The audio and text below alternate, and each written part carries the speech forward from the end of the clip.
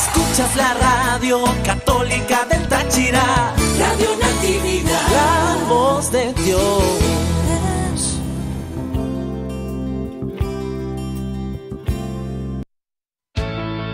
Hay alegría entre los ángeles de Dios. Música celestial. Fiesta. Dios ha preparado para los que lo aman cosas que nadie ha visto ni oído y ni siquiera pensado. Radio Natividad les invita a escuchar De Fiesta en el Cielo con Ali e Isidra.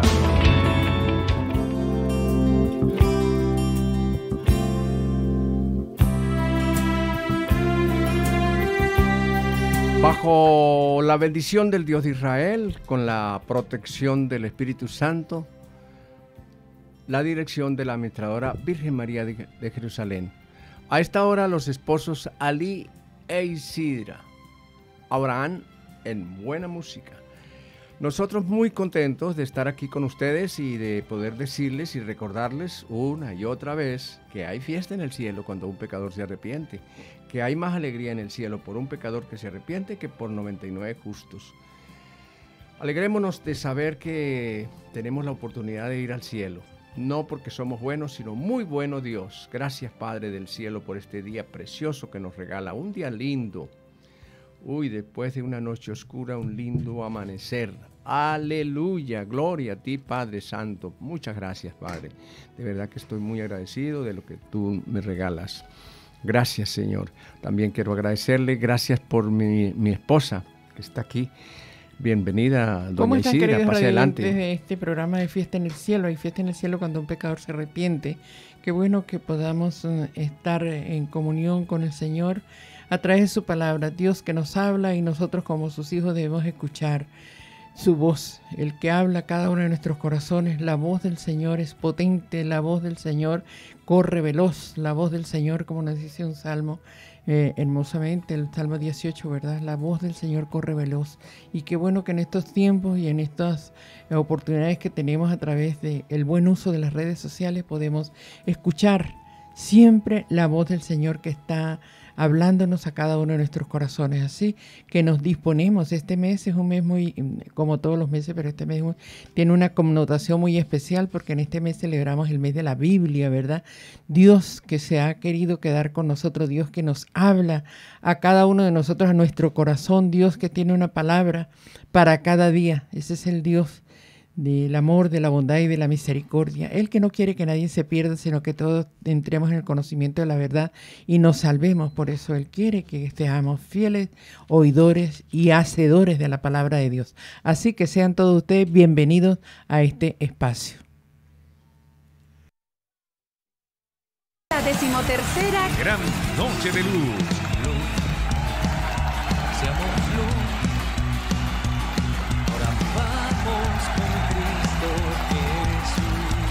Este 29 de octubre te esperamos en el estacionamiento de Radio Natividad, totalmente en vivo. Por Natividad. 101.7 FM. No al Halloween. Sí a la luz. Para la gloria del Dios de Israel. Radio Natividad. La voz de Dios. Hay alegría entre los ángeles de Dios. Música celestial. Fiesta.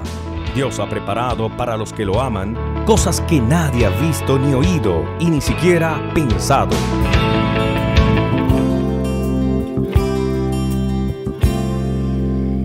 ¿Cómo podemos nosotros tener eh, ese pensamiento?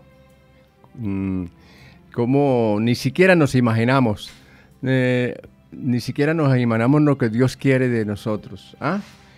Vamos a compartir con ustedes porque como nosotros necesitamos estar en ese pensamiento de Dios, pensamiento de Dios, que mis pensamientos sean los tuyos, Padre del cielo. Por favor, ayúdame, ayúdame a entender y a comprender todo lo que Dios quiere para mí. Instruirnos a usted, a, a quiénes, a usted, a ustedes y a mí. Sí, Señor. Mm, ¿Cómo dice el libro de la sabiduría en el capítulo 9, el versículo 13-19? ¿Qué dice? Vamos a ver qué aprendemos de ese, de ese libro. Libro de la sabiduría. Libro de la sabiduría. Ese libro no, ese libro no lo tiene todas las Biblias, así que eh, hay que mm, eh, darle gracias a Dios porque nosotros precisamente compartimos la, la, la palabra de Dios. Ya somos de la Biblia completa, ¿no? De la Biblia completa, sí señor. A ver, ¿qué dice? ¿Cuál es la pregunta? ¿Quién es el hombre que puede conocer los designios de Dios? Designios de Dios. Aquí siempre decimos a, través de, ese momento especial que el Señor nos regala para anunciar eh, fiesta en el cielo, lo que ninguna mm, mente pudo entender, ningún pensamiento, o sea, lo, los pensamientos son tremendos. Mire lo que dice aquí, a ver si lo podemos uh, recibir. Los pensamientos de los mortales son inseguros. Los pensamientos de los mortales son inseguros y sus razonamientos pueden equivocarse, porque un cuerpo corruptible hace pesado el alma y el barro de que estamos hechos entorpece el entendimiento. ¿Cómo? Los pensamientos de los mortales son inseguros y sus razonamientos y sus razonamientos ¿ah? Mm, pueden equivocarse, porque un cuerpo corruptible hace pesada el alma, hace pesada el alma y el barro de que estamos hechos entorpece el entendimiento. ¿Por qué no nos explica eso, Isidra? Que a mí me encanta cómo lo haces. a- de, de leer en del Dios habla hoy, ¿verdad? Porque Ah, bueno, a ver. lenguaje y dice, ¿por qué? ¿Qué hombre conoce los planes de Dios? ¿Quién puede imaginar lo que el Señor quiere? Débil es la inteligencia de los hombres y falsas muchas veces sus reflexiones. El cuerpo mortal es un peso para el alma. Estando hecha de barro oprime la mente en la que bullen tantos pensamientos. Con dificultad imaginamos las cosas de la tierra y trabajosamente hallamos lo que está a nuestro alcance. Pero ¿quién puede descubrir las cosas celestiales? Nadie puede que no- conocer los planes sino aquel a quien da sabiduría y sobre quien desde el cielo envía su Santo Espíritu. Gracias a la sabiduría han podido los hombres seguir el buen camino y aprender lo que te agrada. Fueron salvados gracias a ella. Palabra de Dios. Qué hermoso texto. Eh, me hace pensar este texto cuando el Señor, eh, Nicodemo visita al Señor y el Señor le dice cuando, bueno, le, hable, le habla que hay que nacer de nuevo y este Nicodemo no entiende a pesar de que era un maestro de la ley, que sabía mucho. No, él no, él no podía entender muchas cosas, pero entonces el Señor le dice, no entienden las cosas de la tierra, ¿cómo van a entender las cosas del cielo? Por eso para uno tener ese entendimiento, esa sabiduría que necesitamos para comprender un poquito, un poquito, porque es un poquito, las cosas de Dios son insondables y muy profundas, ¿verdad? Entonces, ¿qué necesitamos tener? Pues como nos dice, la gracia del Espíritu Santo, porque solo por la gracia y el poder del Espíritu Santo en cada una de nuestras vidas es que no podemos nosotros eh, tener ese, ese poder entender las cosas secretas de Dios, como nos lo decía también en la semana el Señor, las cosas secretas de Dios. Solo el Señor nos las puede hacer entender y comprender. Nosotros por nosotros mismos, pues no, porque somos tan seres tan limitados. Pero el Señor nos da su gracia, su espíritu.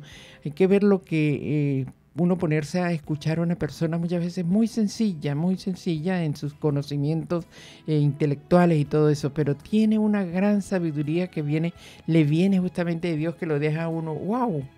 Sí, por eso, entonces qué bueno que podamos nosotros saber y entender que tenemos, eh, como nos dice la palabra, la mente de Dios. O sea, no somos cualquier cosa, tenemos la mente de Dios y eso tiene que ser para nosotros de gran alegría y gran satisfacción. Vamos a un tema y ya regresamos.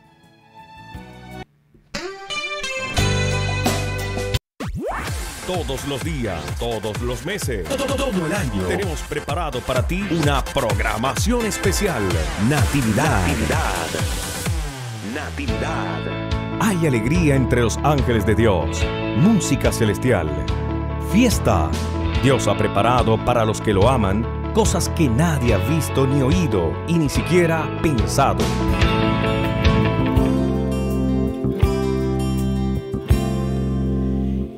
Hablando de sabiduría, vamos a. Hay una oración hermosa aquí en el libro de sabiduría, capítulo 9. Vamos a poner mucha atención.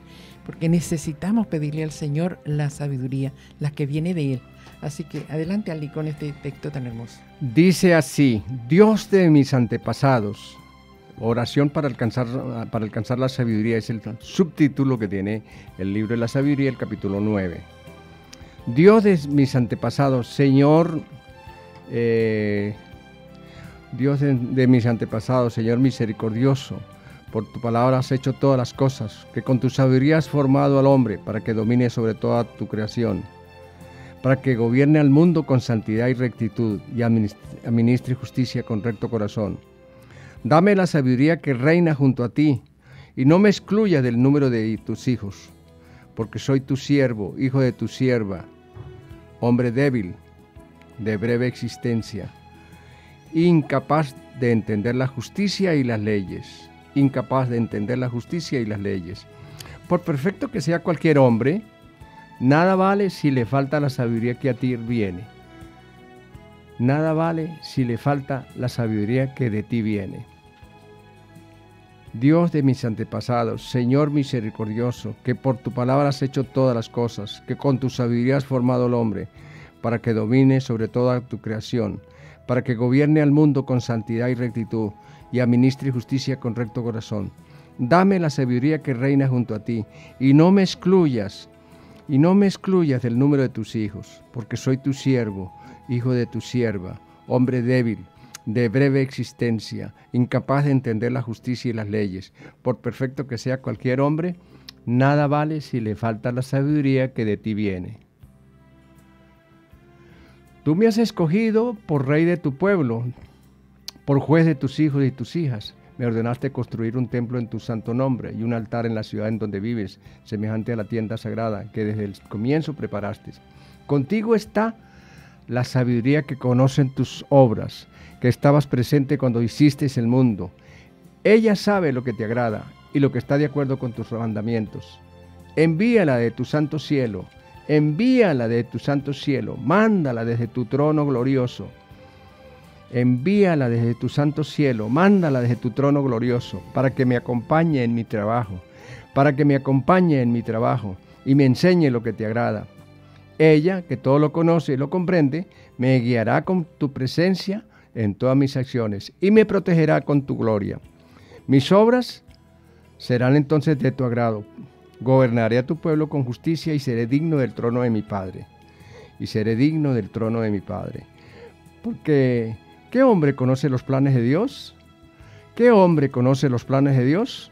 ¿Quién puede imaginar lo que el Señor quiere? Débil es la inteligencia de los hombres, falsas muchas veces sus reflexiones. El cuerpo mortal es un peso para el alma. El cuerpo mortal es un peso para el alma. Estando hecho de barro, oprime la mente en la que bullen tantos pensamientos. El cuerpo mortal es un peso para el alma. Estando hecho de barro, oprime la mente en la que bullen tantos pensamientos. Con dificultad imaginamos las cosas de la tierra. Trabajosamente hallamos lo que está a nuestro alcance. Pero ¿qué- quién, quién puede descubrir las cosas celestiales? ¿Quién puede descubrir las cosas celestiales? Nadie puede conocer tus planes, sino aquel a quien da sabiduría y sobre quien desde el cielo envía tu Santo Espíritu. Gracias a la sabiduría han podido los hombres seguir el buen camino. Gracias a la sabiduría han podido los hombres seguir el buen camino y aprender lo que te agrada. Fueron salvados gracias a ella. Palabra, Palabra de Dios. Qué hermoso, ¿verdad? Oración. Esto está en el capítulo 9 del libro de la sabiduría. Capítulo 9. Todo el capítulo 9 es esta oración que hace. ¿Quién hace esta oración? Pues el rey Salomón. Recuerde que cuando él, le nombraron rey, eh, era muy joven, muy, muy, muy pequeño, muy y él pide a Dios, que es la petición, Dios le pide que, que le pida lo que quiera, y el, el Salomón le pide a Dios sabiduría. Y esta es la oración que hace Salomón pidiendo al Señor sabiduría. Qué hermoso pedirle al Señor que seamos sabios. La sabiduría es un don, un regalo grande dado por Dios, pero tenemos que pedírsela a Dios porque viene de Él. Él es el que nos da la sabiduría. Dios es de mis antepasados, Señor misericordioso, que por tu palabra has hecho todas las cosas que con tu sabiduría has formado al hombre para que domine sobre toda la creación para que gobierne el mundo con santidad y rectitud y administre justicia con recto corazón. O sea, todo una, o sea, y, que, yo creo que bien pocos, bien pocos conocen esto y cómo pedir al Señor sabiduría. Para todo tenemos que pedir al Señor sabiduría. Yo a veces pienso que, por ejemplo, uno se lanza al matrimonio, que es algo tan delicado y tan sublime y tan de Dios, ¿verdad? y cuando pedimos al Señor que nos dé sabiduría para nosotros llevar adelante una familia. Por eso nos lanzamos a esa empresa tan delicada pero sin ningún eh, conocimiento y, menos ah, pedirle al Señor sabiduría para nosotros poder llevar a cabo la misión a la cual nos hemos encomendado. Igual cualquier otro tipo de servicio, de trabajo, de, bueno, lo que necesitamos. Recuerdo en este momento un médico muy famoso aquí de San Cristóbal que sus operaciones y sus, los trabajos que él hacía eran de muchísimo éxito. Y un día otros médicos le preguntaron, mire doctor fulano, ¿Qué es lo que usted hace para, qué es lo que usted hace para que todas las operaciones nunca se infesten, los puntos, nunca esto, lo otro, lo otro? Y él dice, no, yo voy y me lavo las manos. Bueno, siempre así. No, yo voy y me lavo las manos. Resulta que un buen día ya estaba él enfermo, fuimos a visitarlo, fuimos con otra persona que también eh, pues, visitábamos enfermo y era muy amigo de ella esta persona y entonces él eh, contó que lo que él decía, lo que él decía, yo voy y me lavo las manos, era que iba, se lavaba las manos sí con agua, pero pedía al Señor la gracia del Espíritu Santo y que le diera sabiduría para él realizar ese trabajo. Oye, de verdad que a mí nunca se me ha olvidado ni el nombre de ese médico famoso, ni también ese momento tan extraordinario. Yo me quedé así sorprendida, de verdad que es que es pedir al Señor sabiduría para todo cuanto hagamos, no lanzarnos nosotros por nosotros mismos. No, no, no, eso no es válido. Lo que sí es importante es que nosotros podamos sea, reconocer nuestra limitación, nuestra pequeñez, pero pedir al Señor de quien viene la sabiduría, sabiduría para que lo que hagamos lo hagamos de la mejor forma posible y de acuerdo al plan y la voluntad de Dios. Por eso nosotros muchas veces llevamos decimos, metemos la cabeza por aquí y se nos dan un trancazo. ¿Pero por qué? Porque le hacemos las cosas sin pedir el auxilio del Señor. ¿De dónde me vendrá el auxilio? El auxilio me viene del Señor que hizo el cielo y la tierra. Vamos a una pausa y volvemos nuevamente con ustedes. Más que una radio, una bendición. Alabando a Dios en Hay alegría entre los ángeles de Dios, música celestial, fiesta. Dios ha preparado para los que lo aman cosas que nadie ha visto ni oído y ni siquiera pensado.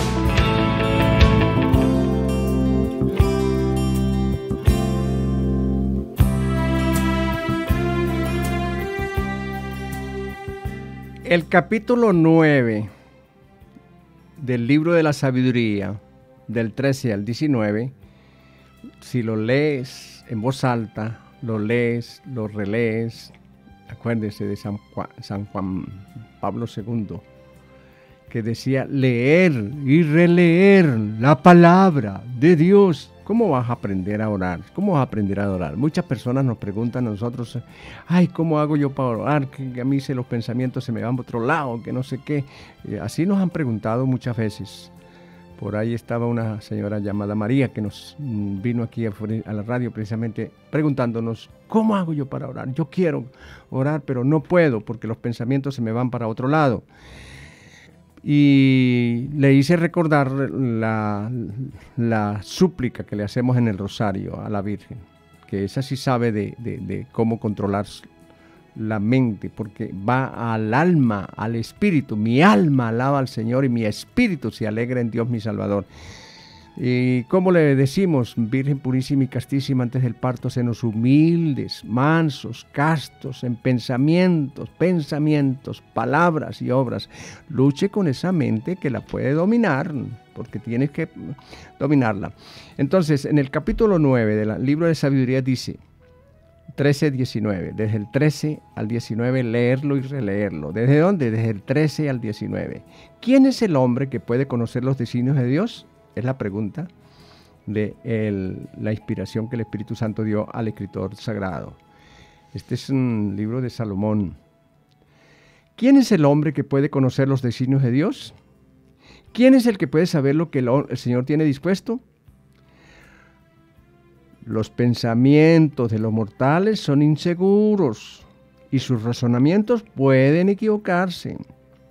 Los pensamientos de los mortales son inseguros y sus razonamientos pueden equivocarse, porque un cuerpo corruptible hace pesada el alma y el barro de que estamos hechos.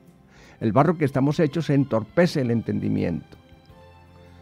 Repito, los pensamientos de los mortales son inseguros y sus razonamientos pueden equivocarse, porque un cuerpo corruptible hace pesada el alma y el barro de que estamos hechos entorpece el entendimiento. Con dificultades conocemos lo que hay sobre la tierra y a duras penas encontramos lo que está en nuestro alcance. Interrogación. ¿Quién podrá descubrir lo que hay en el cielo? ¿Quién conocerá los designios de si tú le... ¿Quién conocerá los tus designios si tú no le das la sabiduría enviando tu Santo Espíritu desde lo alto? Enviando tu Santo Espíritu desde lo alto. Enviando tu Santo Espíritu desde lo alto. Solo con esa sabiduría lograron los hombres enderezar sus caminos. Solo con esa sabiduría lograron los hombres enderezar sus caminos y conocer lo que te agrada. Solo con esa sabiduría se salvaron. Señor, los que te agradaron, los que te agradan, los que te agradaron desde el principio. ¿Qué tengo yo que hacer con este, este pensamiento? Tengo que, tengo que conocer, leer, releer este texto. ¿Cuál texto? Del libro de la sabiduría, el capítulo 9, del 13 al 19 leerlo, releerlo, leerlo, releerlo en voz alta, hasta que se haga en mi alma y yo pueda decir en el embarazo de la palabra, porque también necesito urgentemente estar embarazado. Sí, varones que me están escuchando, hombres que me están escuchando, necesitamos estar embarazados. Mujeres que están escuchando, que saben del embarazo. Sí, embarazo embarazarnos de la palabra. La palabra del Señor llegó a mi corazón, mi vida transformó. Es un fuego que mm, sale, eh, que, arranca esa oración, ese momento, esa inspiración, cuando yo comienzo a tener experiencias con la palabra. La palabra de Dios, embarazar. ¿Por qué embarazar? Porque precisamente voy a dar a luz. ¿Y qué, qué es lo que voy a dar a luz? Cómo voy a dar a luz yo como hombre? Cuando de mi alma sale el perdón para una persona que me ha ofendido, para esa persona que me hizo tanto daño y de resulta que esa persona no sabe que me hizo daño, ni siquiera se, ni, ni, si, ni se acuerda pues que me hizo daño. Pero yo, ¿quién, eh, ¿quién salió perdiendo? Pues yo, porque esa persona hizo daño y ni cuenta se dio. Pero, pero, Espíritu Santo, pero yo necesito, ¿quién salió perjudicado? Yo, porque eh, lloro y pienso y sufro y sufro y sufro y sufro y sufro porque no puedo romper con el pasado.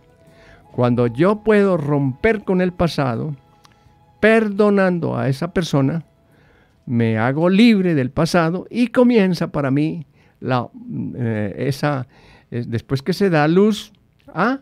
Después que yo he perdonado, con muchísimo dolor, perdonado, entonces, ¿qué sucede? Que comienzo a hacer como la madre cuando tiene su niño ya. Muchos dolores y mucho sufrimiento, y Dios mío, Señor, cuánto sufrimiento de la madre para tener un hijo, y después que lo tiene, ya tiene ya tiene, o sea, como dice el Señor en, la Escritura, ¿verdad? En el Evangelio, que eh, después la madre se le olvida, o sea, cuando nace el niño, por la alegría del nacimiento, se le olvidan los dolores de parto. Eso lo dice el Señor en el Evangelio y es así, ¿verdad? Es así. Me encanta eh, haber compartido y estar compartiendo con ustedes este texto de sabiduría, porque muchas veces aquí pues tenemos un eslogan en la radio, ¿verdad? Y, es con, respecto, ya voy a hacer referencia a, ello, ¿no? Dice, porque ¿qué hombre conoce los planes de Dios? ¿Quién puede imaginar lo que el Señor quiere? Por eso el eslogan que les digo es, pero ¿cómo se dice, como nos dice la escritura? Dios ha preparado para los que lo aman cosas que nadie ha visto, ni oído, ni siquiera pensado. Dios ha preparado para los que lo aman cosas que nadie ha visto, ni oído, ni, ni siquiera pensado. Estas son las cosas que Dios nos ha hecho conocer por medio del Espíritu pues el Espíritu lo examina todo desde las cosas más profundas de Dios. Dios, el Espíritu conoce las cosas más profundas hasta las cosas Dios conoce por medio del Espíritu, pues el Espíritu lo examina todo hasta las cosas más profundas de Dios. Por eso me encanta pensar que, podemos pedir al Señor con toda tranquilidad sabiduría para todo, para nuestro trabajo. No, pensemos únicamente que Dios actúa en nuestras vidas únicamente en la parte eh, espiritual, no. Dios eh, nos sabe y nos ha hecho a nosotros, eh, somos alma, espíritu y cuerpo, ¿verdad? Entonces también todo el trabajo, lo que hagamos, todo lo que sea, eh, ponerlo en las manos de Dios para que Dios actúe. Mis obras serán entonces de tu agrado. Gobernaré a tu pueblo con justicia y seré digno del trono y seré digno del trono de mi Padre. Porque ¿Qué hombre conoce los planes de Dios? ¿Quién puede imaginar lo que el Señor quiere? Eso no lo podemos alcanzar desde nosotros mismos, sino desde la sabiduría que viene de Dios. Por eso pidamos al Señor que seamos sabios. ¿Cómo tenemos que nosotros entender, entender, comprender, entender, comprender cuando yo comienzo a tener una experiencia con la palabra de Dios? Por eso esos cantos no son, no, no es un invento es, no, no, son canciones, son cantos para el Señor. La palabra del Señor llegó a mi corazón. La palabra del Señor mi vida transformó. Contigo está la sabiduría que conoce sus obras y está presente cuando hiciste el mundo. Ella sabe lo que te agrada y lo que está de acuerdo con tus mandamientos. Envíala desde tu santo cielo Mándala desde tu trono glorioso para que me acompañe en mi trabajo y me enseñe lo que te agrada, para que me acompañe a dónde? En mi trabajo. Por eso una persona que siempre está unida y de la mano de Dios, todo lo que hace es con sabiduría. ¿Pero por qué? Porque tiene eh, esa, eh, confianza puesta en el Señor y pide al Señor sabiduría para que lo que está haciendo le salga bien, ¿verdad? Envíala desde el, desde el santo cielo, mándala desde el trono glorioso para que me acompañe en mi trabajo y me enseñe lo que te agrada. Ella, que todo lo conoce y lo comprende, me guiará me guiará con prudencia en todas mis acciones. ¿Me guiará cómo? Con prudencia, en todas mis acciones. En todas mis acciones. Y me protegerá con su gloria. Mis obras estarán entonces de tu agrado, mis obras serán entonces de su agrado. Gobernarás a su pueblo con justicia y seré digno del trono de mi Padre. O sea, pedir al Señor siempre y desde esta oración tan hermosa, capítulo 9 del libro de la sabiduría, esta, esto, pedir al Señor sabiduría para todo, para los estudios. Mire, cuando un estudiante, una persona, cuando un muchacho quiere hacer la voluntad de Dios, pide, ora al Señor y le pide qué carrera escoger. Ya no está pensando en cómo, cuál es la que da, mm, eh, más, dinero, ¿no? sino qué, cuál, Señor, tú que conoces y me conoces, cuál, qué capacidades tengo yo y qué carrera debo escoger. Porque estoy diseñado, oigan, atención, porque estoy diseñado, por eso necesitamos leerlo y releer el Salmo 139. ¿Por qué? Para que tú entiendas que me estás escuchando en este momento, tú señora que me está escuchando, mm, papá que me está escuchando, estudiante que me está escuchando, profesor que me está escuchando, doctor que me está escuchando, carpintero que me está escuchando, es contigo, sí, eh, albañil, todas esas personas, todos esos profesionales que necesitamos para que el mundo sea eh, ese mundo mm, con grandes mm, eh, manifestaciones en su arte, en su en lo que Dios le ha inspirado. Bendito sea Dios por los profesionales de la medicina que llegaron a recibir su título y pudieron entender para qué los llamó el Señor. Enfermera que está ahí sabiendo que esa experiencia que el Señor le da es precisamente para ponerla en práctica, para poder ser como la Madre Teresa, que, se, que, que que fue capaz de, de llegar hasta las últimas consecuencias negándose a sí misma para poder llegar a la oportunidad de vivir eh, la alegría de, de dar a luz. Oh, dar a luz, pero no, esa niña, eh, la madre Teresa no, no, no tuvo niños, no tuvo hijos, pero dio a luz porque se negó a sí misma y contagió a muchas personas, muchas, muchas extremo, personas y a- hasta el Como extremo. Señor. Ajá, como el Señor. Y entonces, ¿a qué llegó? A hacer la voluntad de Dios, a dar a luz la palabra de Dios. Por eso dice la oración en el versículo 10, envíala, o sea, envía la sabiduría, envíala desde tu santo cielo, mándala desde tu trono glorioso para que me acompañe en mi trabajo En mi trabajo, y me enseñe lo que te agrada, para que me acompañe en mi trabajo y me enseñe en lo que te agrada. Por eso les decíamos que la sabiduría no es únicamente pedir al Señor sabiduría para las cosas celestiales, sino en todo, en todo, porque necesitamos depender de Dios. Vamos con toda seguridad, si pedimos al Señor sabiduría, no nos vamos a equivocar. ¿Cómo nosotros pe- pedir un joven, una joven, dirección a Dios para cuando toma la decisión del matrimonio, que es algo tan sublime y tan delicado, pedir al Señor que le dé la gracia realmente de que le acompañe con sabiduría para tomar esa decisión en ya en una carrera, en un trabajo, en lo que sea, pedir al Señor sabiduría. Nosotras como amas de casa, pedir al Señor sabiduría para hacer de, lo que tenemos que hacer de nuestra tarea cotidiana, hacerlo todo con sabiduría.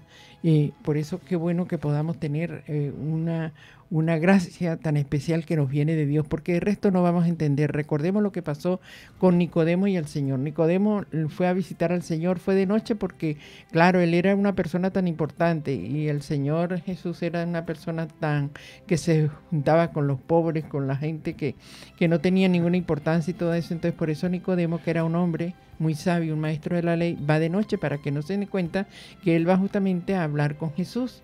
si, y cuando tuvi- si tuviera un joven escuchándote a ti, eh, decía, para que no me raye, porque eh, sí. buscar precisamente al Ajá. carpintero tenía que hacerlo de noche, un maestro de la ley como Nicodemo, tenía que ir porque sabía que ahí había ¿Ves? algo muy bueno, pero no pudo entender en el razonamiento, porque es que, ay Dios mío, Señor, Entonces, ¿qué es lo que pasa en ese momento? Él le dice al Señor que, que cómo se hace para entrar en el reino de los cielos. Y el Señor le dice, para entrar en el reino de los cielos hay que nacer de nuevo de arriba. Y él no podía entender. Y él dijo, oye, es que tengo que volver al vientre de mi madre. claro. No podía entender. Y el Señor le dice, no entienden las Las cosas cosas. de la tierra. Van a entender Ver las cosas, del cielo. No Ay. las podemos entender si no es a partir de una experiencia espiritual. Por eso el hombre que se queda en humano, humano, no puede entender las cosas del espíritu. Para, Para él son él locura, locura. y solo las puede entender a partir de una experiencia espiritual.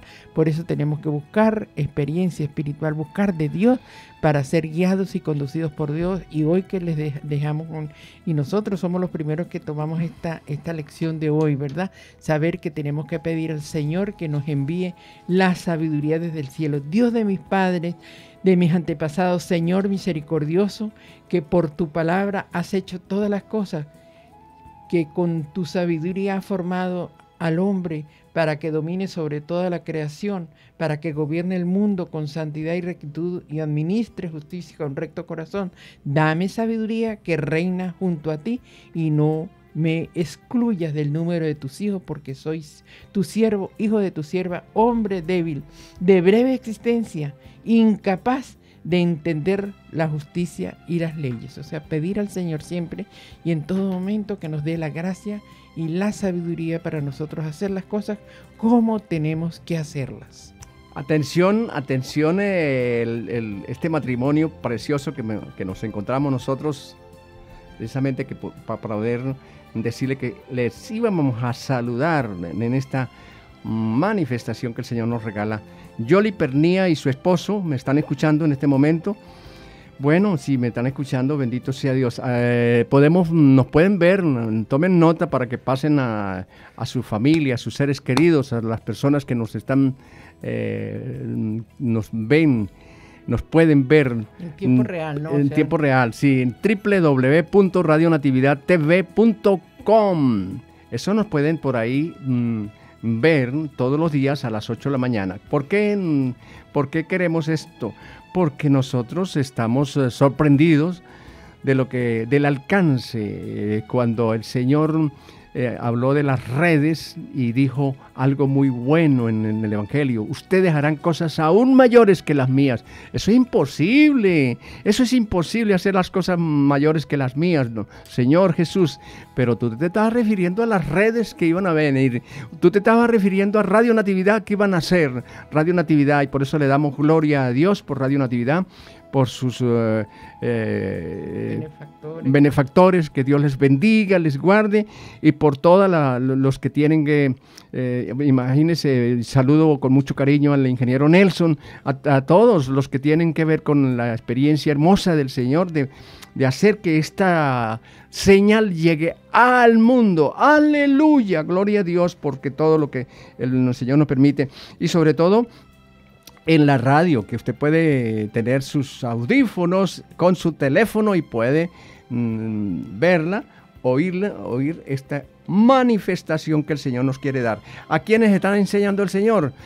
Eh, eh, Ali, Ali, y Sidra son los primeros que aprenden. Uy, Dios mío, cuántas como cosas. Dijo el Papa San Juan Pablo II, Ajá, ¿qué dijo? Dando se recibe. Dando se recibe. ¿Quién dijo eso? El Papa San Juan Pablo II. Dando bueno, se recibe. Ali, se nos acabó el tiempo. Ah, sí, sí así señor, es la cosa. Le damos gracias al Señor por habernos ya dado esta está haciendo, está firmándonos ahí. Sí, este, gracias, Señor. Abraham, Dios lo bendiga. La oportunidad que el Señor nos da de poder llevar el mensaje del Señor y asistir hasta el próximo programa cuando nuevamente estaremos de vuelta con ustedes. Pidamos al Señor que nos bendiga a todos. Eh, le damos gracias a Dios por todas las personas eh, que nos ven en Magdalena, Colón en Magdalena, a toda la gente, a la gente de la grita. Ay, Dios mío, Señor, tantas personas bellas y lindas. Gloria al Padre, al Hijo y al Espíritu Santo. Miren, señores, vamos a pedirle al Señor un momentico a todos los um, productores de, de, la, de, la radio. Eh, que nosotros um, podamos orar a ustedes que oran con el rosario.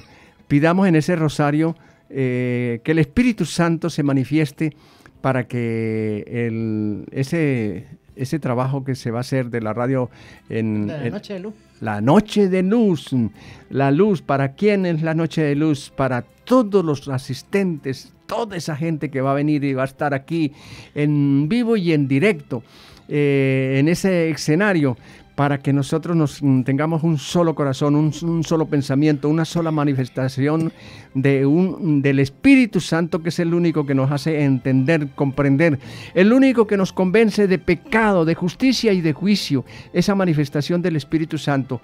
Padre de la Gloria, te suplicamos que envíes su Santo Espíritu a todas las personas para que podamos estar en esa comunicación con el rosario, pidiéndole a la Virgen esa manifestación del Espíritu Santo. Ruega por nosotros, Santa Madre de Dios. Para que seamos dignos de alcanzar y gozar las promesas y gracias de nuestro Señor Jesucristo. Amén.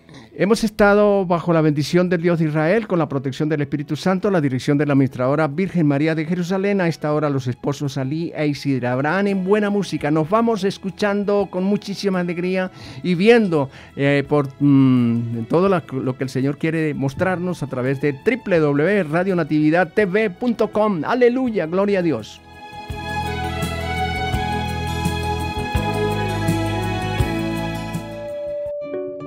Ahora llega este hijo tuyo que ha malgastado tu dinero con prostitutas y matas para él el becerro más gordo.